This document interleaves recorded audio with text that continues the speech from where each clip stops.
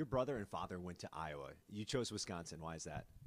Um, well, I, I never was really interested in Iowa. I didn't want to follow in their footsteps. I wanted to create my own legacy, and I've always been a big fan of Wisconsin and the campus. So as soon as Coach Bobbie offered me, it was a done deal. I was sold. Now you're recovering also from a torn Achilles tendon, correct? How, how is that going for you? Uh, it's actually going great. Recovery's going along really well. Um, I'm a lot farther than what I expected to be at this point, so I have high hopes of being able to play before the season's over. Not not coming out of redshirt, but just being able to practice and help the team out. Now, when when you finally do get healthy, how how do you feel you can help the team?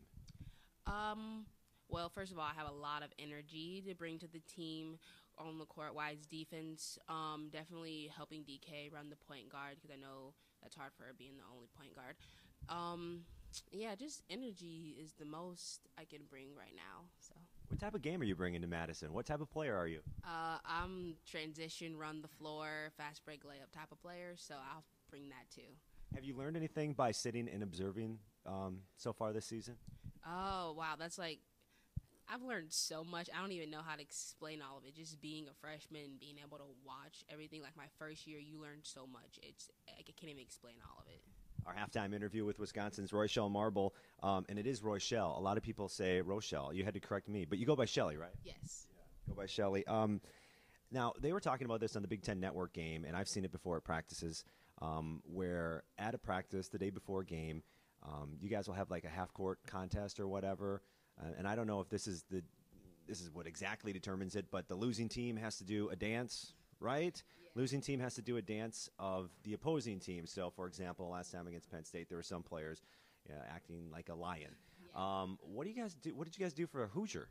Uh, well, we actually didn't do it this game because we're we're away and we didn't have a shoot around. Okay. So uh, usually we would do it with the shoot around. It was like a shooting competition. Usually the freshmen and sophomore versus the juniors and seniors. So freshmen and sophomore usually lose. So yeah, last game I was a lion. You were a lion. Were you a good lion? uh no. Okay, so it's almost like you have to do like a little lion dance. So who's the best? Forget about the maybe the, the, the Big Ten schools and the dancing. Who's the best dancer on the team? um, I would have to say the best dancers are me and Kayla. Who's the best singer? I know Tessa says she loves to sing, but she she's I, I don't know if she's the best.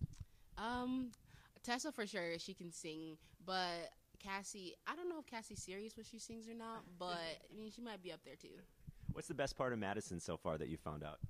Um, I mean, I really just stay on campus for the most part. I've been off a couple of times, but just the campus in general. You don't really have to go anywhere. Everything else is, is just right here on the campus. You don't have to leave unless you want to go shopping. Thanks for the time. Thank you.